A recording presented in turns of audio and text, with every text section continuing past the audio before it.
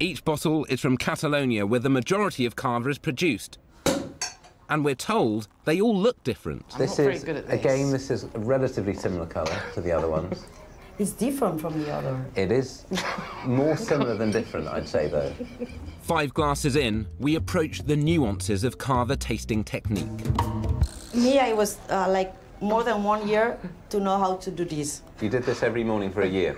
Yes. Okay. Did you get a lot done that year? Is that what's referred to you as your lost year? so like John Lennon in New York. And then, in a ringing endorsement of the cava tasting process, Kathy erupts with joy. Hallie's having a, uh, a small aneurysm here. All, all I know is, say I had a sip of this, and then an hour later, someone switched glasses in this episode of Columbo that I'm in, I wouldn't go, what, what's happened?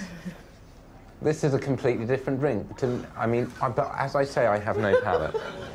Okay, I've got a bit of uh, brain here. Let me know how that is. Bon appetit. That face tells me you made the wrong decision. It is slightly disconcerting that the mouth is open. It's as if the mouth of this sheep is going, oh, come on. Yeah. Tell me what you've gained from this experience. An anecdote? I've got an anecdote.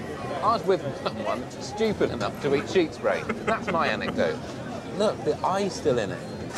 This is basically just an autopsy. Don't eat that, okay? I ate the brain, you eat the eyes. I'm not subject to some kind of weird television law of bullying where just because Declan has eaten the brain, that Ant has to eat the eye. No. Oh my Oh, good grief, okay. it's black inside. Why are you doing this? Why are you do why did you do that? It's delicious. It's not. It is. Should we go and get a burger? This is Hauka, Haukar. yes, and this is Brennivin, but also known as Black Death. Hákarl, or Greenland shark, is poisonous when fresh owing to high levels of uric acid. But by simply leaving it to decay and hanging it out to ferment for a few months, it becomes technically edible. Why won't this kill me? Um, I'm, I'm not really sure. No, it's just fine. It's okay. Yeah. Okay. But you don't, you won't eat this, will you? No, I don't like it. No. Thank you. That's a good sign.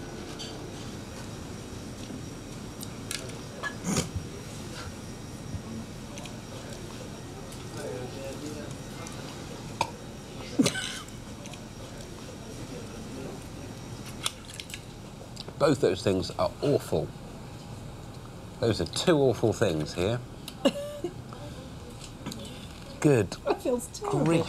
Ah, I wish I could keep some of it on my spoon, and yeah, it keeps falling off. There we go. Here we go.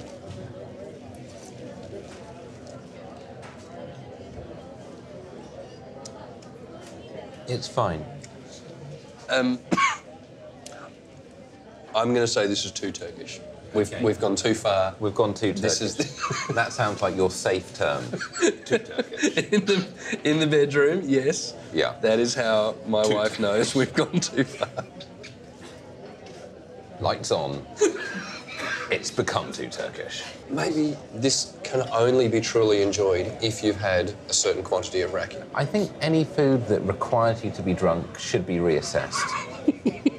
Barcelona FC's greatest kicker of balls is genuinely called Mr. Messi and has a whole area dedicated just to him and how good he's supposedly meant to be. But of more interest to Kathy is the museum's green screen photo studio. I don't care for this team. Why why not? I just don't care about football. Just stand next to Messi. Okay, Just pretend to know him for the All right. picture. Just pretend he's your friend. go on. Get me. I just need you to put this Put arm Messi out. next Why would I wouldn't touch Messi? I don't know him. It's inappropriate. Do it. Click it. You really want to take this This picture a- like that? This is. I don't want to take the picture at all, but given that the picture's being taken, It's brilliant. I do now know for certain that I am a vertigo sufferer. Right. What I'm enjoying is the tranquility, the really freaky silence, and then the quite violent uh, flame throwing that's going on just inches above our head.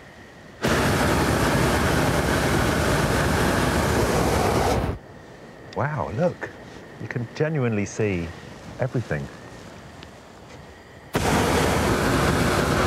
Awkward now having to stand this close to each other after that.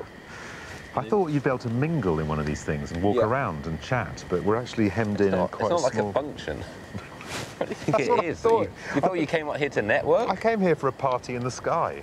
Well, It's more like a confessional booth in the sky. Next, a liquefied olive in a semi-solid membrane. I'm not going to lie, I don't know how to eat this. Take the, the glass like this. Okay. And you just, you know, Yes. like a shot. Yeah. Like A shot glass of olive. Okay, you go first, though. Wow.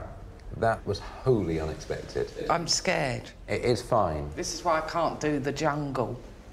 Nat's bollocks and all that.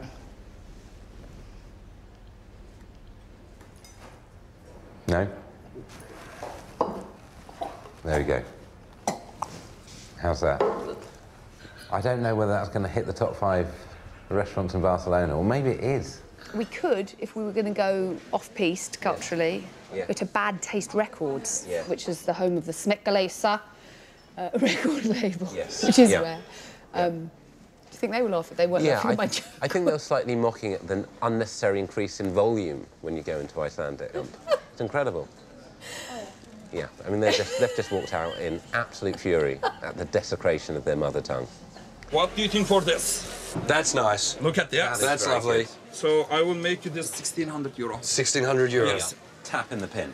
Tap it in. My question is, if you go with this, Yes. what will be the number that you can afford it?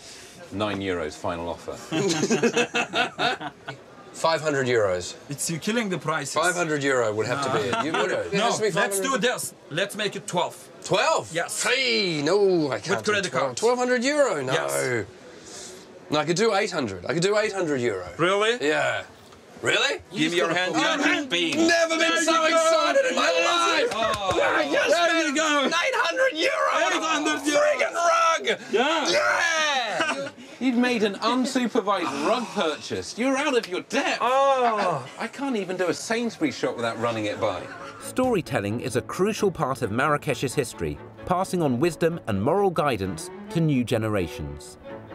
In the 11th century, tellers would perform in the main square, but now a new breed perform in city centre cafes like this. Jerwood puts on free performances for tourists in his spare time. Hello. Hello. I'm Richard. Hello. Hi, Nice to nice meet, to you. meet you. Hello, I'm Stephen. Hello. How are you? Nice to meet you. So I should say, I have no facial expressions. He doesn't. Virtually none. It's like a medical So you won't be able to tell anything from looking at me because I'm emotionally cut off. Yeah. Like, almost and completely dead. I'll try and make up for it with my Stephen's more animated. with warm eyes. Also, I'm bad with eye contact, so Yeah. just bear that in mind. So once upon a time, there was a child. His father died and left him alone. This particular story follows Jaffa, a lazy son of a butcher, whose mother encourages him to seek out his own luck. Jaffer, you fool! You always lose your money. Throughout the tale, Jerwood skips between roles like a modern-day Danny Dyer, flitting from dog Woof woof! Go away, you stupid! to old man. Give me money first. The story has more twists and turns than an episode of Come Dine With Me. And guess what he found? Dead queen. Not the Sopranos. With new characters constantly appearing. He found a white-bearded wizard, holding a candle and a spell book in his hand. we weren't going to guess that. But like Oliver Stone before him, Jerwood is keen to explore what moral lessons we've gained from his story. What did you learn from this story? So the moral of the story is always find a tiny wizard to take the punishment for you. Yeah. And I suppose in a Bruno Bettelheim way, it's really about integrating various aspects of the ego to create a whole. And that's what I took away. I have no idea what this means. no, I, neither. I didn't really. I just read it in a Sunday Yeah. supplement.